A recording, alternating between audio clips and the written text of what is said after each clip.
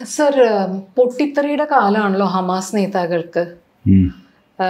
ആദ്യം political chief ഹനിയനെ കൊന്നു. പിന്നെ ഇതാ ഇപ്പോൾ മുഹമ്മദ് ദൈഫ് അവരുടെ മിലിറ്ററി വിങ് ചീഫിനെ കൊന്നു. അപ്പോൾ അപ്പൊ എന്താണ് ഇനി അടുത്തത്? അടുത്തത് എന്താണെന്ന് ഇസ്രായേൽ തീരുമാനിക്കും ഈ ഹനിയയെ കൊന്നത് ഇസ്രായേലാണെന്ന് അവർ സമ്മതിച്ചിട്ടില്ല. മാത്രമല്ല വിചിത്രമായ ഒരു വാർത്തയും കൂടെ വന്നു. ഐ തിങ്ക് ടർക്കിയാണ് ആ വാർത്ത പുറത്തുവിട്ടത്. ഒരു Indian operative of I D F. അജ്ഞാത് Israeli defence ഫോഴ്സിന്റെ ഒരു ഇന്ത്യൻ ഓപ്പറേറ്റീവ്. അയാളുടെ പേരും ഒക്കെ പുറത്തു വന്നിരുന്നു. സി ഇസ്രായേൽ മുൻപിൻ നോക്കാതെ ഈ യുദ്ധം ഞങ്ങൾ തുടരും എന്ന് എത്ര തവണ പറയണം? എത്ര തവണ പറയണം? ഇറാൻ പറഞ്ഞു ഞങ്ങളിപ്പോൾ കാണിച്ചു തരാം ഇസ്രായേലിന്. എന്ത് കാണിച്ചു കൊടുക്കും ഇപ്പോൾ എത്ര ദിവസമായി? ഒന്നും ചെയ്യാൻ പറ്റില്ല അവരുടെ അടുത്ത്. കാരണം അവർ മുകളിലെ ആകാശം താഴെ ഭൂമിയായിട്ട് നിൽക്കുകയാണ്. അവർക്ക് പോകാൻ വേറെ ഭൂമിയില്ല. അവരുടെ സർവൈവലിന്റെ ഫൈറ്റാണ് അവർ നടത്തുന്നത്. You cannot prevent them but ഇതൊക്കെ ഈ ഇറാൻ ഇങ്ങനെ ഭീഷണിപ്പെടുത്തുന്ന കാര്യമൊക്കെ നിൽക്കുന്നു. ഇറാനും സൗദി അറേബ്യയും തമ്മിലൊരു ഒരു ട്രീറ്റി ഉണ്ട്. ഉം. അവർ തമ്മിലൊരു അണ്ടർസ്റ്റാൻഡിംഗ് ഉണ്ട്. കാര്യം സുന്നിയാണ് ഷിയയാണെങ്കിലും ഈ നമ്മുടെ ദ ഗൾഫിലെ ആ ബ്ലോക്കുമായിട്ട് ഇറാന് ചെറിയൊരു ധാരണയുണ്ട്. ഇസ്രായേലിനെ ആക്രമിക്കാൻ സൗദിയൊന്നും കൂട്ടുനിൽക്കില്ല ഇറാൻ ഒറ്റപ്പെട്ടു പോകും. ഇറാന് ഈ പറഞ്ഞ ബേസിക് ഒരു പ്രശ്നവും കിടക്കുന്നുണ്ട്. ഈ നമ്മൾ ഷിയയാണ്. എന്തിനാണ് സുന്നികൾക്ക് വേണ്ടിയിട്ട് നമ്മൾ ചാവാൻ പോകുന്നത്? What is our interest in that അപ്പൊ വീരവാദം മാത്രമാണോ? വീരവാദം അത് മുഴക്കിയല്ലേ പറ്റുള്ളൂ. അവരുടെ സ്ഥലത്ത് വെച്ച് അവർ വിളിച്ചുകൊണ്ട് വന്ന ഒരു ഗസ്റ്റിനെ കൊന്നു എന്നൊക്കെ പറയുമ്പോൾ എന്തെങ്കിലും അവർക്ക് പ്രതികരിക്കണ്ടേ? ബട്ട് റിയൽ പ്രശ്നം ഉണ്ടാവാൻ പോകുന്നത് എനിക്ക് തോന്നുന്നു ലെബനനിലാണ്. കാരണം അമേരിക്ക ഒരു വാണിംഗ് കൊടുത്തിരിക്കുന്ന അവരുടെ സിറ്റിസൻസ്. ലെബനനിലുള്ള അമേരിക്കക്കാർ കഴിയുന്നതും തിരിച്ചു വരിക അല്ലെങ്കിൽ അവിടെ സേഫ് ആയിട്ടിരിക്കുക. ഇങ്ങനെ ഒരു അഡ്വൈസറി അമേരിക്ക കൊടുക്കണമെങ്കിൽ trouble is going to be in Lebanon എന്നാണ് അർത്ഥം. ഈ മിലിറ്ററി ചീഫിനെ കൊന്നതും ലെബനനിലാണെന്ന് തോന്നുന്നു അല്ലേ? സോ ഹിസ്ബുള്ളയെയാണ് ഇസ്രായേൽ അടുത്തത് ടാർഗറ്റ് ചെയ്യുന്നത്. ഹമാസ് ഏകദേശം തീർന്നു. ഹമാസ് ഇനി കീഴടങ്ങാൻ മാത്രമേ ബാക്കിയുള്ളൂ. കീഴടങ്ങിയാലും ഇസ്രായേൽ യുദ്ധം നിർത്തില്ല എന്ന് പറഞ്ഞിട്ടുണ്ട്. കീഴടങ്ങി എന്ന് വിചാരിച്ചൊന്നും യുദ്ധം നിർത്താൻ പറ്റില്ല. അവസാനത്തെ ഹമാസും എലിമിനേറ്റ് ചെയ്തതെന്ന് ഞങ്ങൾക്ക് ബോധ്യം വരണം അല്ലാതെ ആരെങ്കിലും നാല് പേര് വന്നിട്ട് ആയുധം വെച്ച് ഞങ്ങൾ കീഴടങ്ങി ചേട്ടാ ഞങ്ങളെ വിട്ടരുന്ന് പറഞ്ഞു കഴിഞ്ഞാൽ ആ നാല് പേരെ പോലും അവരിവിടെ അറിയുന്നില്ല കാരണം because they belong to Hamas ഹമാസിന്റെ സർവനാശം വരും. പക്ഷെ അത് പ്രാക്ടിക്കൽ ആണോ സർ ഇവർ ഇവർ രക്തരക്ഷസ് പോലെയല്ലേ. ഒന്ന് പോയാൽ പത്തെണ്ണം വേറെ ആയിക്കോട്ടെ? പെർപ്പച്വൽ ഫൈറ്റാണ് ഈ നമുക്ക് കുറക്കാലം കാലം ഉണ്ടായിരുന്നല്ലോ ഇപ്പോഴും ഉണ്ട് കുറച്ച്. ഈ എന്താ വസുധൈവ കുടുംബകം എന്നൊക്കെ പറയും. ഇത് ഇസ്രായേലിനില്ല. ഇസ്രായേൽ എങ്ങനെ ലോകം മുഴുവൻ എന്റെ കുടുംബമാണെന്ന് പറഞ്ഞ് നടക്കുന്ന ആൾക്കാരല്ല. അവർക്കറിയാം ലോകം മൊത്തം കുടുംബമല്ല എന്ന് നമുക്കും അറിയാം. ഉണ്ടോ? നമ്മൾ ഈ നമ്മളുടെ റെട്ടറിക്കിൽ നമ്മൾ പെട്ടുപോകുന്നതാണ്.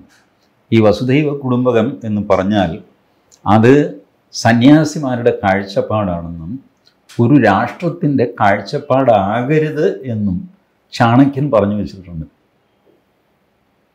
ചാണക്യൻ പറഞ്ഞു അതിനുശേഷം നമ്മളുടെ ഹിതോപദേശത്തിൽ നാരായണ പണ്ഡിതൻ പറഞ്ഞു പഞ്ചതന്ത്രത്തിൽ വിഷ്ണു ശർമ്മൻ പറഞ്ഞു. ഇവരെല്ലാം എക്സാമ്പിൾസ് കാണിച്ചത് വസുദൈവ കുടുംബകം ഒരു ട്രാപ്പാണ്. അതൊരു സ്ട്രാറ്റജി ആയിട്ട് എടുക്കാൻ പാടില്ല. ഏ ഭൂമിയല്ല എന്റെ കുടുംബമാണെന്ന് നമ്മൾ പറഞ്ഞു ബാക്കിയുള്ളവർ സമ്മതിക്കണ്ടേ? എല്ലാം എന്റെ കുടുംബമാണ്. ഇപ്പം ലിബിയെ പറയുന്നു ഞാൻ ഇന്ത്യയുടെ കുടുംബമൊന്നുമില്ല നീ ആരുടെ കുളം എന്ന് പറയാൻ കഴിഞ്ഞില്ലേ നിങ്ങളുടെ കഥ? അപ്പം ഈ ഭോഷ്ക്ക് പറഞ്ഞുകൊണ്ട് നടക്കരുത് ഈ വസുദൈവ കുടുംബകം എന്നുള്ള വരി മഹോപനിഷത്തിലെ വരിയാണ്. ഒരു സന്യാസിയുടെ മനസ്സ് എങ്ങനെയായിരിക്കും? അതിന്റെ ഉത്തരം മഹോപനിഷത്തിൽ കൊടുത്തതാണ്. അയം നിജപരോവേത്തി ഗണനാലഘുചേതസ ഇത് ഞാൻ ഇത് നീ. ഇത് വലുത് ഇത് ചെറുത്. ഇതൊക്കെ നശിക്കും. ഉദാരചരിതാനാന്തു മനസ്സ് വളരെ ഉദാരമാകും. വസുധൈവ കുടുംബകം വിശ്വം മുഴുവൻ ഭൂമി മുഴുവൻ എന്റെ കുടുംബമാണെന്ന് തോന്നും. ആർക്ക്? ഒരു യോഗിക്ക്. അല്ലാതെ ഒരു രാഷ്ട്രതന്ത്രജ്ഞനല്ല നരേന്ദ്രമോദിക്ക് ഒട്ടുമല്ല. അങ്ങനെ തോന്നാനും പാടില്ല. അപ്പൊ ഈ ചാണക്യന്റെ ഈ നീതിയൊക്കെ വെച്ചിട്ടാണോ N S N S A ഡോവാലിന്റെ വല്ല പദ്ധതിയാണോ? ഈ ടർക്കി പറയുന്നുണ്ട് നമ്മുടെ ആളാണെന്ന്. ഈ നമ്മുടെ നമ്മുടെ എന്ന് പറയുമ്പോഴും ഐ ഡി എഫിന്റെ ഓപ്പറേറ്റീവ് ആയിട്ട് അവർ പറയുന്നത്. അല്ലാതെ ഇന്ത്യ അയച്ച ആളായിട്ടല്ല. നമ്മുടെ കുറച്ച് പേര് അവിടെ പോയി വർക്ക് മീൻസ് ജോബ് പോലെ അവിടെ മിലിറ്ററിയിൽ വലുതും ചേർന്ന് അയാളുടെ ഹിസ്റ്ററി ഒന്നും പുറത്തു വന്നിട്ടില്ല. ഇന്ത്യക്കാരനാണ് എന്നേ ഉള്ളൂ. That doesn't mean that he could be an Israeli citizen also or അതൊരു ടോട്ടൽ ബ്ലഫ് ആവാം. We don't know what is happening ഈ അജ്ഞാതന്മാരെ കൊണ്ട് ലോൺ വുൾഫ് അറ്റാക്ക് എന്നാണല്ലോ ഇതിന് പറയുക. ലോൺ വുൾഫ് അറ്റാക്ക് വെച്ചിട്ട് ആൾക്കാരെ എലിമിനേറ്റ് ചെയ്യുന്നതും ഒരു തന്ത്രമാണ് അന്താരാഷ്ട്ര തലത്തിൽ. ബിക്കോസ് ഇപ്പോൾ നോക്കൂ ഈ ഡിസ്പ്യൂട്ടിൽ ഇപ്പോൾ കേൾക്കാൻ പറ്റാത്ത രണ്ട് ശബ്ദങ്ങളാണ്. ഒന്ന് ആംനസ്റ്റി ഇന്റർനാഷണൽ വേറൊന്ന് Greenpeace foundation where are they ശരിയാണല്ലോ. അവരൊരു അക്ഷരം മിണ്ടുന്നില്ല. Red cross silent where are these people കാരണം ഇവരുടെ എല്ലാം വെസ്റ്റഡ് ഇൻട്രസ്റ്റ് തകർന്നു പോയി ഇസ്രായേലിന് മുമ്പിൽ.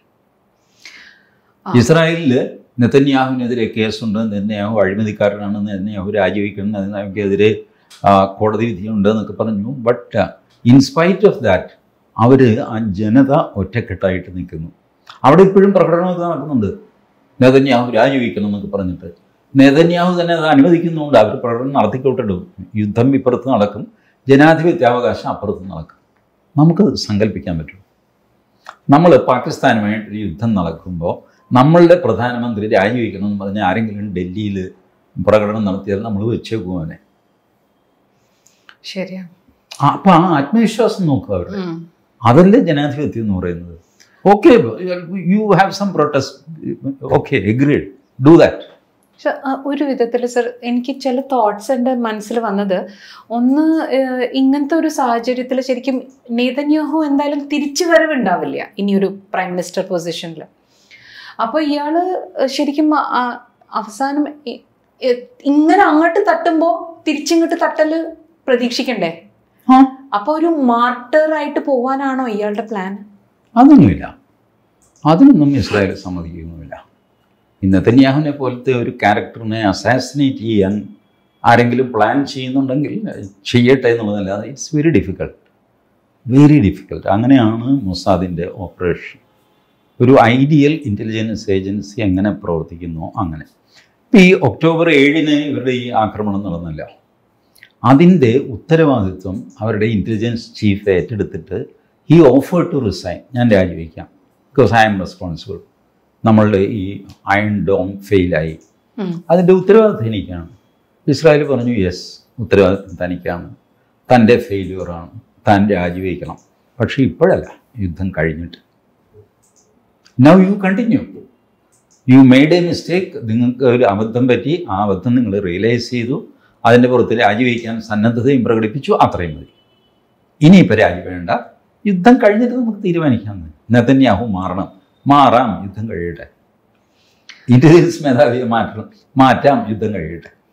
എവറിഥിങ് ദേ ആർ പോസ്റ്റ്പോണിങ് ഈ till they won win this war against Hamas അപ്പോൾ അമേരിക്കയുടെയും ചെറിയ നീക്കങ്ങൾ ഉണ്ടെന്ന് പറയണു അവരുടെ മെറൈൻ പൊസിഷനിങ് ഇപ്പോൾ ഇസ്രയേലിനെ ഹെൽപ്പ് ചെയ്യാൻ വേണ്ടിയിട്ട് ഉള്ള മാതിരി പൊസിഷനൊക്കെ മാറ്റിയിട്ടുണ്ട് എന്നൊക്കെ പറയുന്നു. ഒരു പ്ലേസ്മെന്റ് അങ്ങനെ ആക്കിയിട്ടുണ്ടെന്ന് പറയുന്നുണ്ട്. സി അമേരിക്കയുടെ ഞാൻ കണ്ടെടുത്തോളം ഉണ്ടല്ലോ. അമേരിക്കയിൽ രണ്ട് അഭിപ്രായങ്ങളുണ്ട്. ഒന്ന് വിദേശകാര്യ വകുപ്പ് ബ്ലിങ്കൻ അടക്കം ഇതൊക്കെ ഒരല്പം anti ഇസ്രായേലാണ് but security American navy military army air force ഇവരൊക്കെ പ്രോ ഇസ്രായേലാണ് രണ്ട് ബ്ലിങ്കൻ എന്ത് വേഷവും കിട്ടും? ഈ ഈ മൊത്തം ഇതിൽ ക്രെഡിബിലിറ്റി നശിച്ചു പോയ ഒരാൾ ബ്ലിങ്കനാണ്. Antony Blinken has lost his credibility there is no me I think അവിടെ ഒരു അമേരിക്കയിൽ ഒരു റെജീം ചേഞ്ച് ജാനുവരിയിൽ വരികയാണെങ്കിൽ ഡൊണാൾഡ് ട്രംപ് വരികയാണെങ്കിൽ ഈ Blinken will be thrown out എന്നാണ് ഞാൻ വിചാരിക്കുന്നത്. ഇനി അതിലും സാമർഥ്യം ബ്ലിങ്കൻ ഉണ്ടോ എന്നുള്ളത് അറിയില്ല. നല്ല മാനോറിങ് കപ്പാസിറ്റിയിലുള്ള ആളാണ്. ഇന്നലെ പറഞ്ഞത് ഇന്ന് മാറ്റി പറയുക ഞാനിപ്പോൾ പറഞ്ഞു ചോദിക്കുക ഇതിനൊക്കെ മിടുക്കുണ്ട് ബ്ലിങ്കന്. ബ്ലിങ്കൻ അമേരിക്കയിൽ ഇരിക്കുമ്പോൾ ഇസ്രായേലിനോട് വെടിനിർത്താൻ പറയും. പിറ്റേ ദിവസം ഇസ്രായേലിൽ പോയിട്ട് അടിക്കവനെ എന്ന് പറയും. ഇതാണ് ബ്ലിങ്കൻ ഇതിനിടയ്ക്ക് കഴിഞ്ഞ മാസമാണ് അമേരിക്ക പതിനാല് ബില്യൺ ഡോളറിന്റെ ഡീൽ ഇസ്രായേലുമായിട്ട് ഒപ്പിട്ടിട്ട് അത്രയും ആയുധങ്ങൾ അവർക്ക് കൈമാറി. കൈമാറാൻ പറ്റില്ല എന്ന് പറഞ്ഞ് അമേരിക്കയിൽ ഒരു ബഹളമൊക്കെ നടന്നും. മൈൻഡ് ചെയ്തില്ല. ആയുധങ്ങൾ കൊടുത്തു. സോ അമേരിക്ക പലവിധ ഗെയിം കളിക്കുന്നുണ്ട്. റഷ്യ കളിക്കുന്നുണ്ട്. ചൈന കളിക്കുന്നുണ്ട്. ആ റഷ്യയും പുട്ടിൻ അവിടെ ചെന്ന് ലാൻഡ് ചെയ്തു ഇറാനിലെന്നോ? ഇത്. ഇതെല്ലാം ചെയ്യുന്നുണ്ട്. നമ്മളും നമ്മളെ കളി കളിക്കുന്നുണ്ട്. അതുകൊണ്ടാണ് ഞാൻ നരേന്ദ്രമോദിയെ അപ്രീഷിയേറ്റ് ചെയ്യുന്നത്. ആദ്യമായിട്ട് ഗെയിം എന്ന് പറയുന്നത് ഒരു മോശം കാര്യമല്ല എന്ന് നരേന്ദ്രമോദി മനസ്സിലാക്കി ഗെയിം കളിക്കാൻ തുടങ്ങി. അന്താരാഷ്ട്ര തലത്തിൽ ഗെയിമാണ് പ്ലേ ചെയ്യുന്നത്. നിങ്ങളുടെ ഈ പറഞ്ഞ എന്താ വസുധൈവ കുടുംബകമൊന്നുമല്ല. ചെസ്സാണ് ചെക്ക് മേറ്റ് അപ്പോൾ നമ്മൾ നമ്മുടെ കാർഡ് ഭംഗിയായിട്ട് കളിക്കുന്നു. സി പാലസ്തീനെ നമ്മൾ അക്സെപ്റ്റ് ചെയ്തിട്ടുണ്ട്. പാലസ്തീൻ എംബസി ഡൽഹിയിലുണ്ട്. ഇസ്രായേലിന് ആയുധവും കൊടുക്കുന്നുണ്ട്. വാട്ട് യൂസ് ഇത് കളി അല്ലെങ്കിൽ വേറെ എന്താ കളി? ആ ചാബഹാർ തുറമുഖം. ഇറാനുമായിട്ട് നെഗോഷിയേറ്റ് ചെയ്ത് നമ്മൾ എക്സ്ട്രാ ഇനിയും ഒരു പത്ത് വർഷത്തേക്ക് കരാർ നീട്ടിയിട്ടുണ്ട്. ഇറാനുമായിട്ട് നമുക്ക് വഴക്കുണ്ടോ? ഇല്ല. ഇസ്രായേലുമായിട്ട് വഴക്കുണ്ടോ? ഇല്ല. എന്നാൽ ഇസ്രായേലും ഇറാനും തമ്മിൽ വഴക്കുണ്ട്. നമുക്കൊരു പ്രശ്നമില്ല അമേരിക്കയുമായിട്ട് we are in good terms അവർക്ക് നമ്മൾ വെപ്പൺസ് അയക്കുന്നതും പ്രോബബ്ലി ത്രൂ അതെ. ഇപ്പോൾ അമേരിക്ക പറഞ്ഞു ഉക്രൈൻ റഷ്യ യുദ്ധത്തിൽ you must stand with NATO India ഒന്നും പറഞ്ഞില്ല. നിൽക്കാമെന്നോ നിൽക്കില്ലെന്നോ പറഞ്ഞില്ല. ഇത്തവണ മൂന്നാമത്തെ തവണ അധികാരത്തിൽ വന്നു കഴിഞ്ഞിട്ട് മോദി ആദ്യം ജി സെവനിൽ പോയി രണ്ടാമത് റഷ്യയിൽ പോയി. That invitation was pending for three months റഷ്യയിൽ പോയി കഴിഞ്ഞപ്പോൾ ഉക്രൈൻ അത് ഇഷ്ടപ്പെട്ടില്ല. ബട്ട് ഉക്രൈൻ എന്ത് ചെയ്യും നമ്മളെ? ഒന്നും ചെയ്യാനില്ല. പതുക്കെ ഉക്രൈനെ നമ്മൾ തണുപ്പിച്ചെടുക്കും. ഇതാണ്. സോ ഈ ഗെയിം ഓഫ് ചെസ്സിൽ ഇപ്പോൾ ആരാ ലീഡിങ് അത് സംശയമില്ല. U S and Israel. അവർ രണ്ടുമാണ് ലീഡ് ബാക്കിയുള്ള European കൺട്രീസിനൊക്കെ they have almost lost the war to Islam surrender ഇംഗ്ലണ്ടിൽ ഇപ്പോൾ എന്താ നടക്കുന്നത്? ഒറിജിനൽ ഇംഗ്ലീഷ് കാരണം അവിടെ കറക്റ്റ് അവരെ ഫാർ റൈറ്റ് എന്ന് പറഞ്ഞിട്ട് സൈഡ് ആക്കിയിരിക്കുകയാണ്. സി മൂന്ന് കൊച്ചു പെൺകുട്ടികളെ ഒരു ചെറുക്കൻ കത്തിക്ക് കുത്തി കൊല്ലുന്നു പച്ചയ്ക്ക്. ആ ചെറുക്കന്റെ ഭാഗത്താണ് ബ്രിട്ടീഷ് അഡ്മിനിസ്ട്രേഷൻ നിൽക്കുന്നത്. അവന്റെ ഭാഗത്താണ്. പ്രൈവസി കൊടുക്കണം എന്ന് പറഞ്ഞിട്ട്. എന്തൊക്കെ അവൻ ഇല്ലാതെ ഒരു റുവാൻഡൻ ഫാമിലിക്ക് ഉണ്ടായവനാണ് അപ്പടിയാണ്. എന്തുമായിക്കോട്ടെ അവൻ കൊലപാതകയില്ലേ? Still the country stands with him the administration prime minister അടക്കം. അതിനെതിരെ വലിയ പ്രൊട്ടസ്റ്റ് നടക്കുന്നു. ലക്ഷങ്ങളുടെ പ്രൊട്ടസ്റ്റ് നടക്കുന്നു. പക്ഷേ വെള്ളക്കാരുടെ പ്രൊട്ടസ്റ്റിന്റെ നേർക്ക് വെള്ളക്കാർ തന്നെ വെടിവെക്കുന്നു. ഇമിഗ്രൻസ് നോക്കി കൈയടിക്കുന്നു. ഈ അവസ്ഥ ഇംഗ്ലണ്ടിൽ വന്നിരിക്കുന്നു. എല്ലാം ലോകം ഒരു തല കഴുകനാൻ പാടും. ഒരു കുറേ യുദ്ധങ്ങൾ പല പല സ്ഥലത്ത്. പ്ലസ് ഇങ്ങനെ വിചാരിക്കാത്ത സാധനങ്ങൾ ഇതെല്ലാം ഇതെല്ലാം നേരത്തെ കാലേ കൂട്ടി കണ്ട് പ്രവചിച്ച ആൾക്കാരുണ്ട്. ആണോ? നോസ്ട്രഡാമസ് ഒന്നുമല്ല. വിവരമുള്ള ജേർണലിസ്റ്റ് ഉണ്ടായിരുന്നു. Italian journalist Oriana Fallaci just Google Oriana Fallaci she told all these things at the start of two thousand three four ഒക്കെ ആ സമയത്ത് അവർ എഴുതിയ പുസ്തകങ്ങളുണ്ട്. അവർ ഭയങ്കര ഡയറിങ് ആയിട്ടുള്ള ജേർണലിസ്റ്റ് ആയിരുന്നു. യാസർ അറാഫത്തിനെ ഇന്റർവ്യൂ ചെയ്തിട്ടുണ്ട് അവർ പോപ്പിനെ ഇന്റർവ്യൂ ചെയ്തിട്ടുണ്ട്. പോപ്പ് ഇന്റർവ്യൂ നിഷേധിച്ചു. ബട്ട് സ്റ്റിൽ ഒരു ദിവസം പോപ്പിന്റെ വാതുക്കൽ ഒറിയാന ഫെലാച്ചി നോക്ക് ചെയ്തു. വത്തിക്കാൻ സിറ്റിയിൽ പോപ്പ് വാതിൽ തുറന്നപ്പോൾ ഒറിയാന ഫെലാച്ചി ആ എന്ത് ചെയ്യും? ഇന്റർവ്യൂ ഒക്കെ കൊടുത്തു. കൊടുത്തിട്ട് ആ, പോയി. പക്ഷെ പോപ്പിന് അപ്പോഴും അത്ഭുതം മാറുന്നില്ല. എങ്ങനെ ഇവരകത്ത് കിടന്നു? ഞാൻ അപ്പോയിൻമെന്റ് ഡിനൈ ചെയ്തതാണ്. അവർ കടന്ന് പിന്നീട് അവർ വെളിപ്പെടുത്തി. അവർ കടന്ന് കൈക്കൂലി കൊടുത്തിട്ടുണ്ട്. അയ്യോ. അവർ പറഞ്ഞു പോപ്പിന്റെ സെക്യൂരിറ്റി ഗാർഡിന് കാശ് കൊടുത്ത പുളിക്കുന്നു. മോനെ ഒന്ന് കയറ്റി വിടറാ ഞാൻ. എനിക്ക് കുറച്ച് കുറിപ്പെടുക്കാനാണ്. അതാണ് ആ ശരി.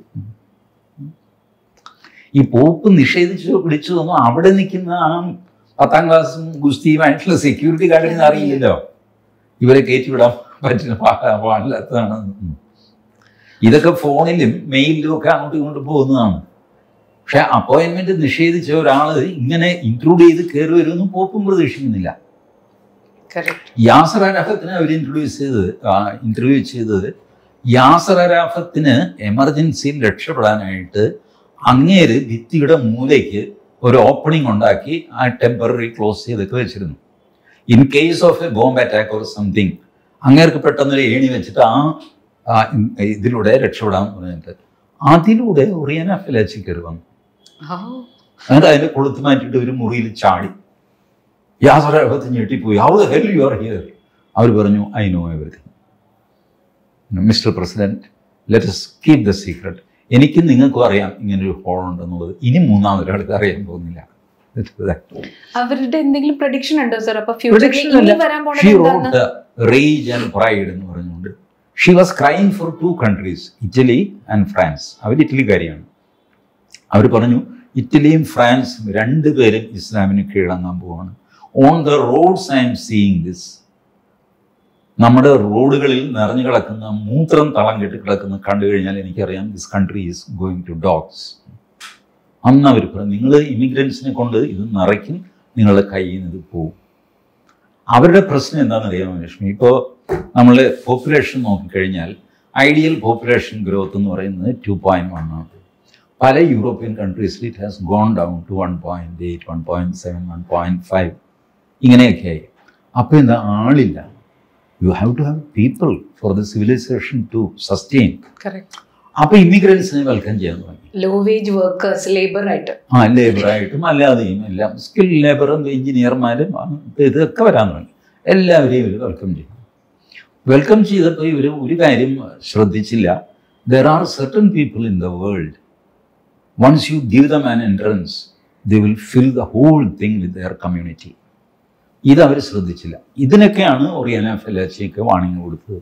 Please don't do have some discrimination somewhere because this is a dangerous demographic shift നിങ്ങൾ ഇന്ത്യക്കാരെയോ ജപ്പാൻകാരെയോ ചൈനക്കാരെയോ എടുക്കുന്ന പോലെ മറ്റു ചില രാജ്യങ്ങളിലെ ആൾക്കാരെ എടുത്താൽ നിങ്ങൾക്ക് പണി കിട്ടും എന്നവർ പറഞ്ഞു. ബട്ട് ദെൻ എല്ലാവരും അതിനെന്താ ഇമിഗ്രൻസിന് ഫ്രീ ആയിട്ട് ഫൈവ് സ്റ്റാർ ഹോട്ടൽ കൊടുത്തു ഇംഗ്ലണ്ടിൽ ഇപ്പോഴും ഉണ്ട്. കുറെ പേര്. ഇപ്പോഴും ഫൈവ് സ്റ്റാർ ഫെസിലിറ്റിയിൽ ഫ്രീ ആയിട്ട് താമസിക്കുന്ന all medical facilities everything case തീർപ്പാക്കണ വരെ അവർക്ക് ഈ ഫെസിലിറ്റിയിൽ ഈ ഫെസിലിറ്റിയിൽ താമസിക്കാൻ കേസ് ഒരിക്കലും തീരാനും പോകുന്നില്ല. യൂറോപ്പ് വല്ലാത്ത പ്രതിസന്ധിയിലാണ്. അതുകൊണ്ടാണ് ഞാൻ പറഞ്ഞത് ഈ ഗെയിമിൽ ഇപ്പൊ ജയിച്ചു നിൽക്കുന്നത് യു എസ് ആൻഡ് ഇസ്രായേൽ അവരുടെ ഏരിയയിൽ. നമ്മുടെ ഏരിയയിൽ we have been a reasonable success Modi and Jaishankar team reasonable success ആണ് except with China except with China China some some problem some problem between there and China which we have not solve. അപ്പൊ China നമുക്ക് മറ്റൊരു എപ്പിസോഡായിട്ട് വെക്കാം. Yes thank you sir